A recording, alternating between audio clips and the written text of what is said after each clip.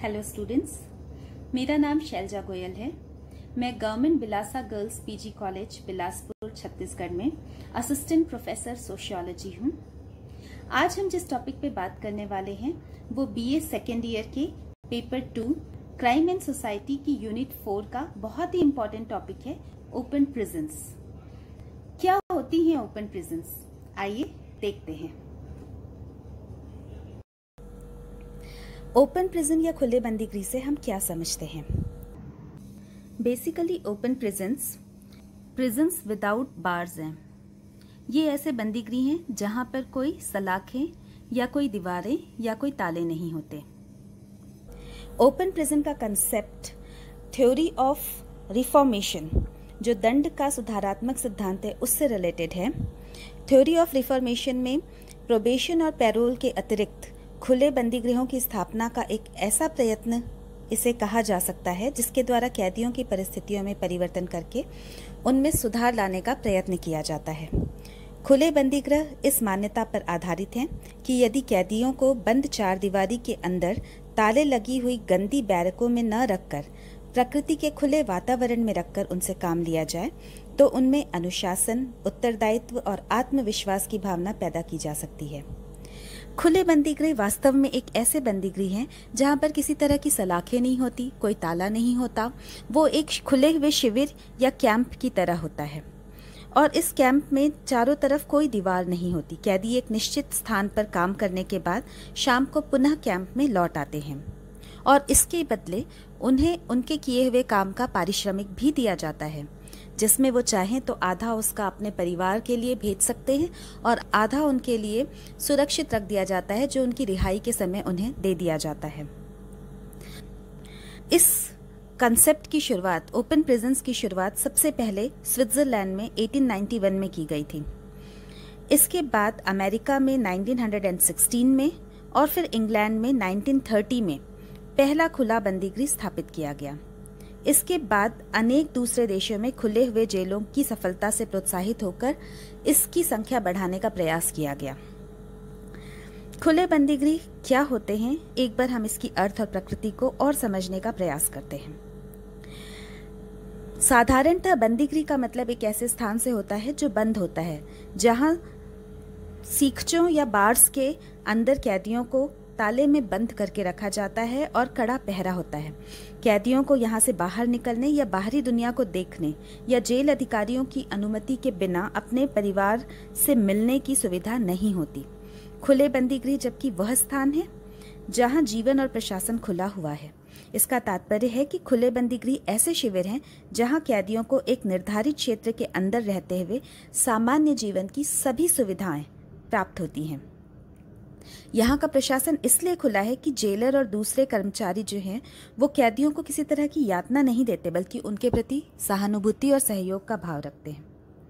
संयुक्त राष्ट्र कांग्रेस ने अपराधों को रोकने और अपराधियों के सुधार करने के संदर्भ में खुले बंदी गृहों के ऊपर उसके महत्व को सिद्ध करते हुए उसकी प्रकृति को स्पष्ट किया है और उन्होंने कहा कि यह वह जेल है जिसमें कैदियों को भागने से रोकने के लिए कोई भौतिक सावधानी, जैसे दीवारें, ताले, सीखचे और हथियारबंद रक्षक नहीं होते, तथा आत्म अनुशासन और समूह के प्रति उत्तरदायित्व की भावना के आधार पर विशेष व्यवस्था को विकसित किया जाता है। भारत में सुधारात्मक सेवाओं के केंद्रीय bureau central bureau of correctional services के अनुसार खुली जेलें अथवा प्राचीर विहीन बंदीगृह वे स्थान है जो बंद जेलों की तुलना में कहीं अधिक स्वतंत्र जीवन को महत्व देते हैं तथा जिसमें कैदियों के जीवन को इस तरह नियंत्रित करना होता है जिससे उनमें आत्म अनुशासन की भावना विकसित की जा सके। इसका अर्थ हुआ कि कैदियों को कुछ मात्रा में स्वतंत्रता देकर उनमें सुधार की संभावनाओं को बढ़ाया जाए।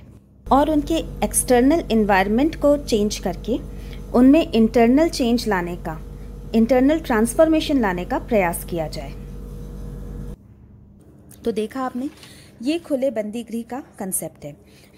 और इतना ही नहीं, खुले बंदी गृह में कैदी अपने परिवारजनों के साथ भी रह सकते हैं। इस पहल के पीछे सरकार की मंशा, कैदियों के भग्न परिवार की समस्या उनके जो परिवार टूट जाते हैं, उनकी समस्या को हल करना ये सरकार की सबसे बड़ी योजना है।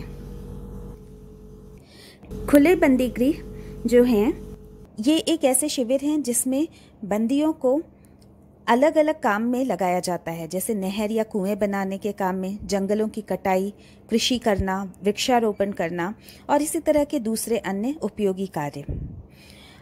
इसके अलावा इनको इसका उद्देश्य जो है वो कैदी को अपने पुनर्वास के लिए समुचित सुविधा प्रदान करना है।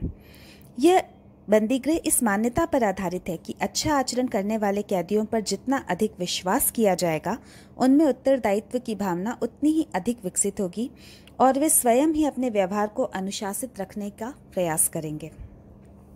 खुले बंदीगृह का उद्देश्य क्या है? आखिर वो कौन से रीजंस थे जिसकी वजह से खुले बंदीगृहों की स्थापना की गई?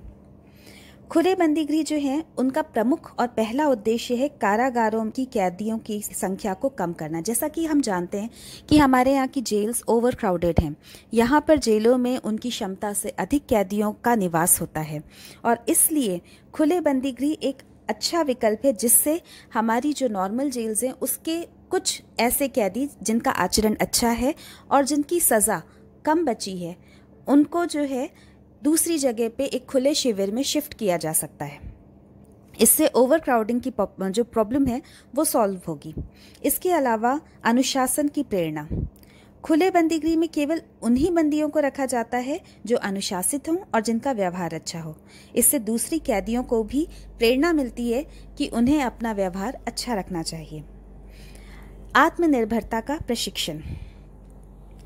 कैदियों को खेती, उद्योग और दूसरे तरह के श्रम के लिए प्रशिक्षित करना, ये भी इसका एक उद्देश्य माना जा सकता है ताकि उनकी रिहाई के बाद वो सोसाइटी में जाकर वापस अपना काम स्टार्ट कर सकें और उनको वापस से पुनर्स्थापित करने में ज़्यादा दिक्कतें ना आए। इसके साथ साथ उनको आर्थिक साधन भी उपलब्ध हो जाते हैं जो उनको पारिश्रमिक मिलता है, जिससे वो आगे अपनी लाइफ में अपना बिज़नेस स्टार्ट कर सकें। फोर्थ पॉइंट है आत्मसम्मान की भावना का विकास।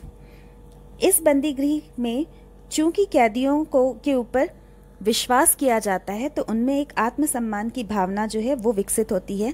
और उनको पारिश्रमिक मिलने से भी उनके अंदर आत्मसम्मान की भावना विकसित होती है, जबकि परंपरागत बंदी गृहों में साधारणतः कैदियों के अंदर हीनता की भावना पाई जाती है।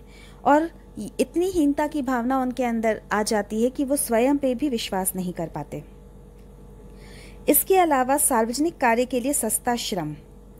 खुले बंदीगृह के कैदियों को विभिन्न सार्वजनिक कार्य जैसे नहर बनाना, वृक्षारोपण, सड़कों का निर्माण, जलाशयों का निर्माण, इन सब कार्यों में उन्हें लगाया जाता है और इनको जो पारिश्रमिक दिया जाता है, वो ठेकेदारों द्वारा कराए जाने वाले श्रम की तुलना में काफ़ी कम है और इस तरह से अधिक सस्ता और भरोसेमंद श्रम सरकार को प्राप्त होता है। सिक्स पॉइंट है, खुले बंदी गृहों का एक प्रमुख उद्देश्य कैदियों का पुनर्वास करके उन्हें सामान्य जीवन व्यतीत करने के लिए अवसर प्रदान करना है।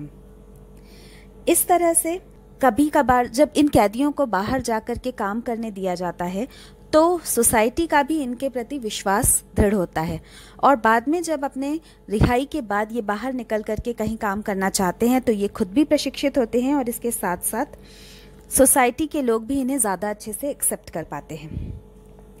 लास्ट पॉइंट है पारस्परिक विश्वास। चूँकि प्रशासन और कैदियों के बीच जनरली परंपरागत रूप से अविश्वास देखने को मिलता है, कैदी ये मान के चलते हैं कि बंदीगृह के अधिकारी और कर्मचारी उन्हें सामान्य व्यक्ति के रूप में नहीं देखते। जबकि खुले बंदीगृहों का उद्देश्य जेल के प्रशासन और कैदियों के बीच एक पारस्परिक विश्वास और सद्भाव को प्रोत्साहन देना है। हम आगे चल के डिस्कशन करते हैं कि खुले बंदी गृहों के लिए कैदियों का चयन आखिर किन आधारों पर किया जाता है? ऐसे कौन से कैदी हैं जिन्हें खुले बंदी गृह के लिए चुन लिया जाता है? खुले बंदी गृह के लिए पहले तो सिर्फ़ उन्हीं कैदियों का चयन किया जाता है जिनको आजीवन कारावास या एक लंबी अवधि के कारावास की सजा दी गई हो, तथा वे अपने कारावास की अवधि का लगभग आधा या कम से कम एक चौथाई भाग पूरा कर चुके हों। इसके अलावा, उन कैदियों की न्यूनतम आयु 21 वर्ष और अधिकतम आयु 50 वर्ष की होनी चाहिए। विभिन्न राज्यों में ये जो न्यूनतम और अधिकतम आयु है, इसमें डिफरेंसेस पाए जाते हैं। जो कैदी कम से कम एक बार पैरोल का लाभ उठाकर बिना किसी अनुशासनहीनता दिखाए बंदीगृह में वापस आ जाते हैं, उन्हें भी इसमें शामिल किया जाता है। इसके अलावा कैदी शारीरिक और मानसिक रूप से स्वस्थ होने चाहिए और वो कठिन परिश्रम करने के लिए तैयार होने चाहिए। उनका आचरण हमेशा अच्छा होना चाहिए और उनके प्रति कोई दूसरा आपराधिक मामला किसी न्यायालय में विचाराधीन नहीं होना चाहिए। इसके अलावा कारागार अधीक्षक द्वारा उनके अच्छे व्यवहार की रिपोर्ट दी जानी चाहिए।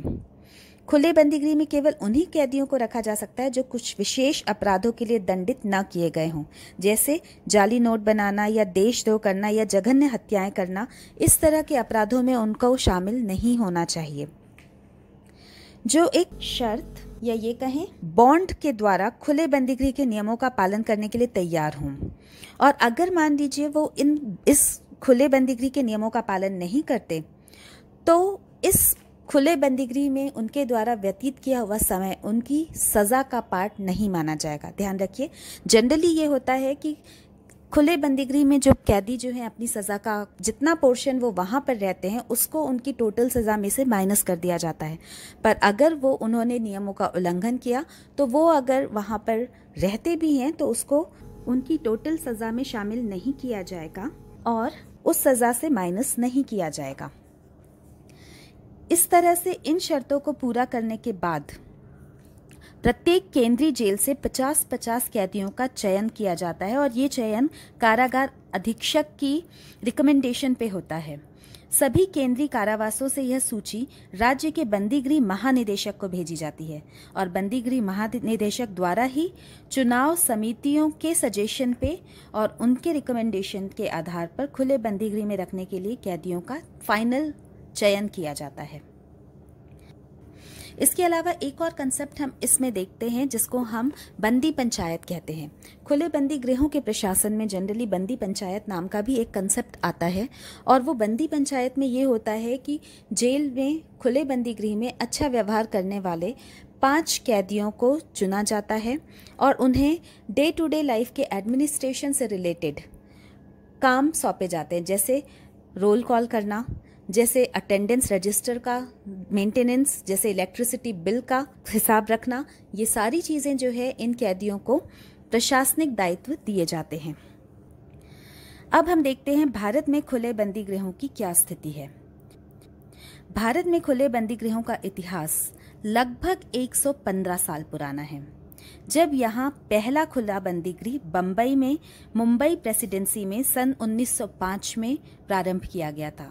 लेकिन इसने बहुत सी कठिनाइयों का सामना किया और 1910 में ही इसे बंद कर दिया गया। इसके बाद सन 1919 और 1920 में अखिल भारतीय जेल समिति ने इस तथ्य पर बल दिया कि लंबी सजा पाने वाले अनुशासित कैदियों को खुले वातावरण में रखकर उनसे उपयुक्त श्रम करवाया जाए तो उनमें ज़्यादा सुधार लाया जा सकता है। लेकिन इसके बावजूद स्वतंत्रता तक भारत में कोई भी खुला बंदी गृह स्थापित नहीं किया जा सका। फिर उसके बाद स्वतंत्रता के बाद उत्तर प्रदेश में जब डॉक्टर संपूर्णानंद मुख्यमंत्री बने तो उनकी रुचि जेलों और जेलों के सुधार की तरफ़ होने के कारण उन्होंने 1953 में वाराणसी के पास चंद्रप्रभा नदी पर बाँध बना, बनाने का काम शुरू किया और इसके लिए पहला खुला बंदी गृह स्थापित किया गया, जिसे संपूर्णानंद शिविर का नाम दिया गया। इसके बाद 1953-54 में दो अन्य खुले बंदी गृहों की स्थापना बांधों का निर्माण करने और नहर खोदने के लिए की गई। सन 1954 में जब लखनऊ में समाज कार्य का वार्षिक अधिवेशन annual conference of social work आयोजित किया गया तो उसमें जेल सुधार की दशा में खुले कारागारों की स्थापना पर विशेष ज़ोर दिया गया। फिर मिर्जापुर ज़िले के चुर्क नामक स्थान पर और नैनीताल के सितारगंज नामक स्थान पर भी दो अन्य संपूर्णानंद शिविरों का स्थापित किया गया। इन सब शिविरों में से वर्तमान में केवल एक सितारगंज वाला संपूर्णानंद शिविर ही अस्तित्व में है और बाकी अन्य शिविर जो हैं, उनको स्थगित किया जा चुका है। इस तरह से उत्तर प्रदेश में अब केवल एक ही संपूर्णानंद शिविर है जो सितारगंज उत्तराखंड में है, न कि उत्तर प्रदेश में। तो इस तरह से अब उत्तर प्रदेश में एक भी खुली जेल नहीं बची है। और जो है सितारगंज वाली, वो विभाजन के बाद उत्तराखंड में चली गई है।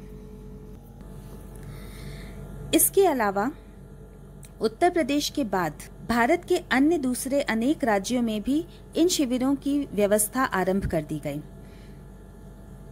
नेशनल क्राइम रिकॉर्ड ब्यूरो के लेटेस्ट आंकड़ों के हिसाब से दिसंबर 2018 की स्थिति में भारत में 77 खुले बंदी गृह हैं जिनकी कैपेसिटी 5,667 है जिनमें वर्तमान में 3,777 इनमेट्स ही यहाँ पर रह रहे हैं मतलब कुल कैपेसिटी का केवल 66 परसेंट ही ऑक्यूपाइड है। सबसे अधिक खुले बंदीगृह राजस्थान में हैं जिनकी संख्या 31 है।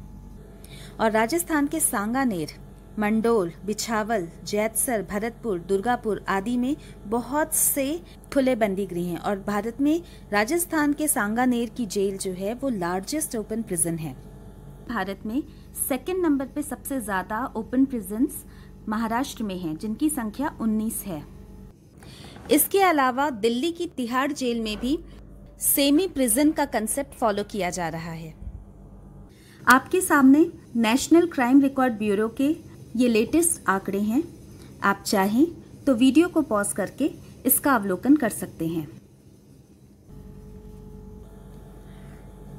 मध्य प्रदेश तथा छत्तीसगढ़ में खुले बंदी गृहों की क्या स्थिति है, आइए हम ये देखते हैं।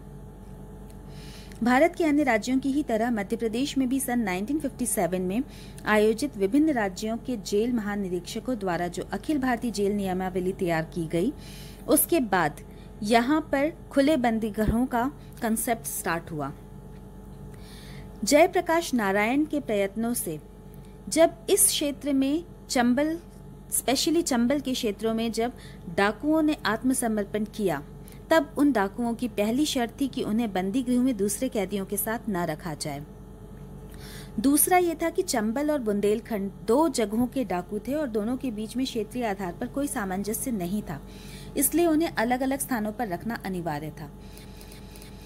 तो मध्य प्रदेश के गुना ज़िले की मुंगावली तहसील में पहले से ही खुले बंदी गृह स्थापित करने की योजना थी और यहीं पर ही आत्मसमर्पण करने वाले डाकुओं में से एक क्षेत्र के डाकुओं को रखा गया और दूसरे क्षेत्र के लिए पन्ना से आठ किलोमीटर दूर लक्ष्मीपुर नामक स्थान पर बंदी गृह की स्थापना की गई।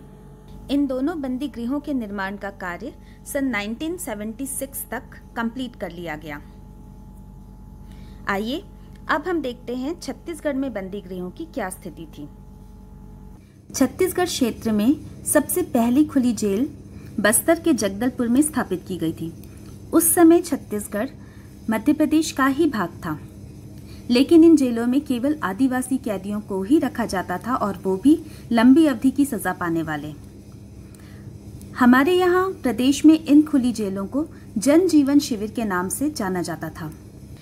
और इन शिविरों में रखे जाने वाले कैदियों के लिए कुछ शर्तें थी जिसको पूरा करना बहुत इम्पोर्टेंट था। उन शर्तों में पहली थी कि केवल वही कैदी रखे जा सकते हैं जिन्हें आजीवन कारावास का दंड हो। दूसरा, इनका आचरण जेल में अच्छा रहा हो। तीसरा, ये शारीरिक रूप से स्वस्थ हों और 50 वर्ष की आयु से अधिक के ना हों। चौथा सात वर्ष की सजा पूरी कर चुके हों और कम से कम एक बार पैरोल का लाभ उठाकर स्वेच्छा से पुनः जेल में वापस आ गए हों। पांचवा, जो बंदी कठिन परिश्रम करने के लिए तैयार हों और छठा, जिन्हें भारतीय दंड विधान की कुछ निश्चित धाराओं के अंतर्गत दंडित न किया गया हो, जैसे कि जघन्य अपराधों में। लेकिन कुछ कारणवश 2001 में ही इन जनजीवन शिविरों को स्थगित करना पड़ा। इसलिए वर्तमान में छत्तीसगढ़ में कोई भी खुली जेल नहीं है। लेकिन सरकार ने बेमेत्रा तथा सिमगा के बीच छत्तीसगढ़ की पहली खुली जेल को प्रस्तावित किया है, जो लगभग 25 एकड़ की एरिया में स्प्रेड होगी और इसमें लगभग 200 बंदियों को रखने की व्यवस्था होगी। आइए अब हम चलकर देखते हैं खुले बंदी गृहों का महत्व क्या है और इनकी समस्याएँ क्या है।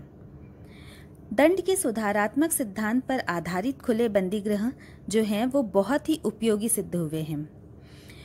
इन बंदी गृहों के मुख्य लाभ या उपयोगिता जो है, उसको हम इन पॉइंट्स के माध्यम से देख सकते हैं। सर्वप्रथम खुले बंदी गृह में कैदी अपने आप को समाज से पूरा तरह कटा हुआ नहीं समझते, बल्कि वे फिर से समाज का एक अभिन्न अंग अपने आप को महसूस करते हैं।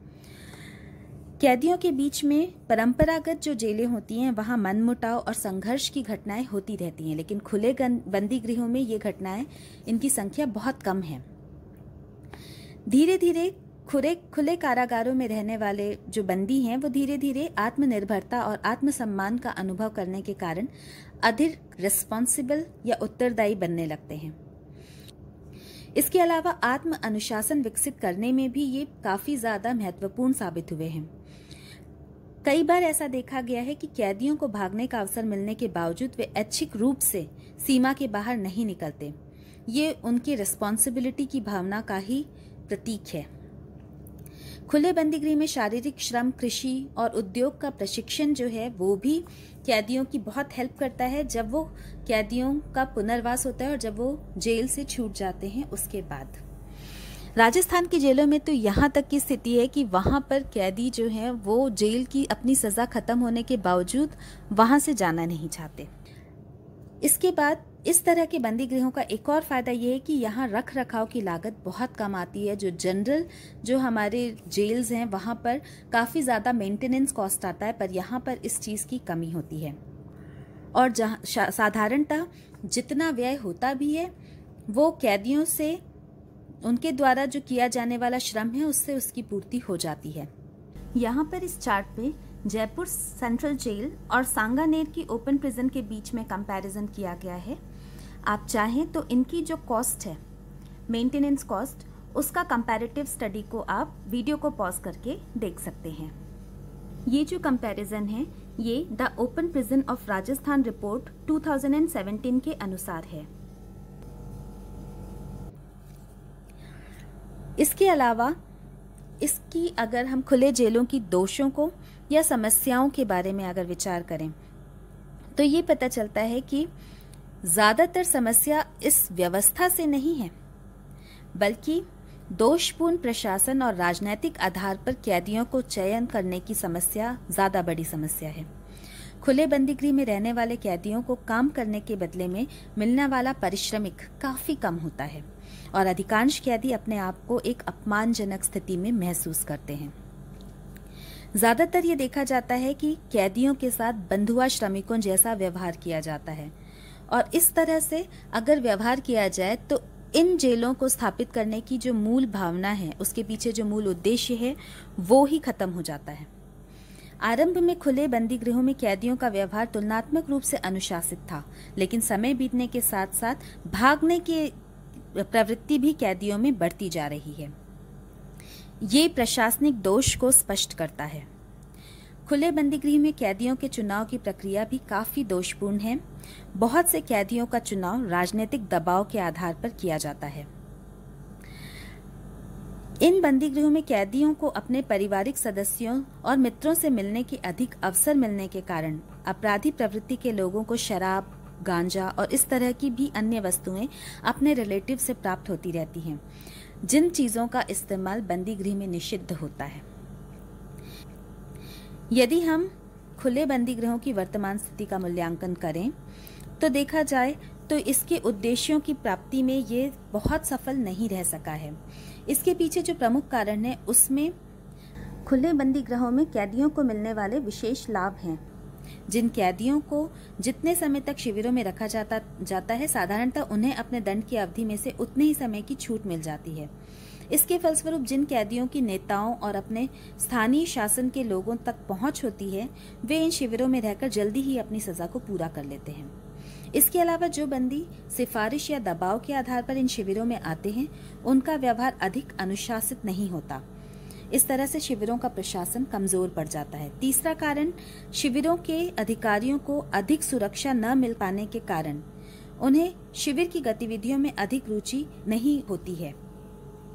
चौथा, इन शिविरों के में बंदियों के द्वारा अपने काम को भी समुचित रूप से पूरा नहीं किया जाता और समय समय पर इन कैदियों के बीच संघर्ष की घटनाएँ भी सामने आ रही हैं।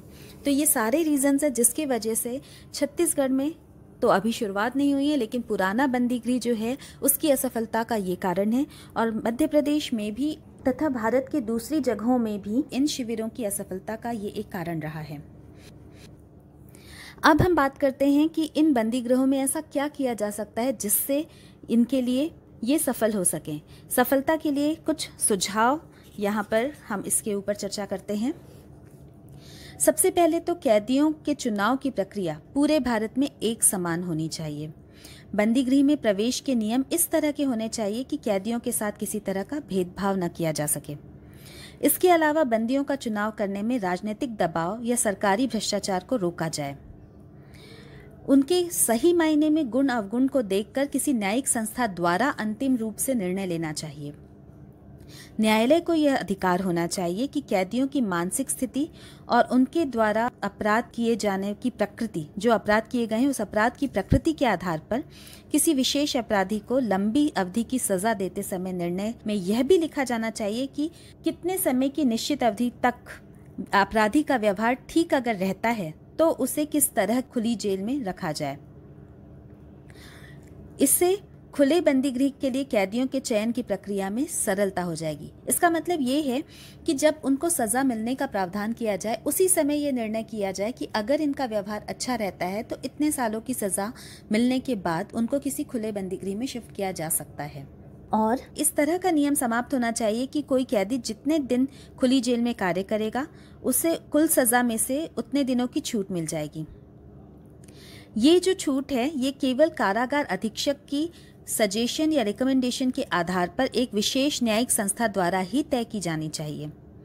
खुले बंदी गृहों में प्रत्येक बंदी को दिया जाने वाला कार्य, उसकी शारीरिक और मानसिक क्षमता एवं उसकी रुचि के अनुसार होना चाहिए। खुले बंदी गृह में कैदियों को अपने काम के बदले मिलने वाला पारिश्रमिक बाज़ार दर से आधे से कम नहीं होना चाहिए। अगर ये होता है, तभी उनके पुनर्वास की समुचित व्यवस्था की जा सकती है। इसके अलावा शारीरिक रूप से दंडित करने पर आंशिक प्रतिबंध होना चाहिए, और यदि खुले बंदी गृह के कैदियों का व्यवहार अनुशासित न हो तो शारीरिक दंड की जगह पे उन्हें अपने मूल कारागार में वापस भेजना अधिक उपयुक्त है। इससे वो स्वयं ही अनुशासित रहेंगे। इस तरह से देखा जाए तो वास्तव में दंड का उद्देश्य सामाजिक जीवन को अधिक सुरक्षित बनाना और अपराधी के मन में यह भाव पैदा करना कि उसने गलत आचरण किया है। और इस तरह से खुले बंदी ग्रहों की स्थापना भारत में एक बहुत ही अच्छी पहल है और अगर इसे सही तरीके से लागू किया जाए, इसके प्रशासनिक और राजनैतिक दोषों को दूर किया जाए तो यह सुधारात्मक दंड के सिद्धांत की एक बहुत ही अच्छी व्यवस्था साबित हो सकती है। तो फ्रेंड्स ये था हमारा आज का टॉपिक खुली जेलों के बारे में। आज हमने देखा कि खुली जेलें क्या होती हैं, इसके पूरे कंसेप्ट को समझा और साथ ही हमने ये देखा कि भारत में खुली जेलों की क्या स्थिति है। इसके साथ ही दोस्तों, मैंने यहाँ पर आपके साथ में कुछ YouTube के लिंक्स शेयर किए हैं। इसमें एक्सपर्ट्स के द्वारा खुली जेलों के बारे में डिटेल में बताया गया है और एक दो डॉक्यूमेंट्रीज भी हैं। अगर आप इसके बारे में डिटेल में और जानना चाहते हैं तो आप इन लिंक्स को फॉलो कर सकते हैं। आई होप आपको आज का ये वीडियो लेक्चर पसंद आया होगा, समझ आया होगा। इसके साथ ही हम फिर अगले लेक्चर में मिलते हैं। Thank you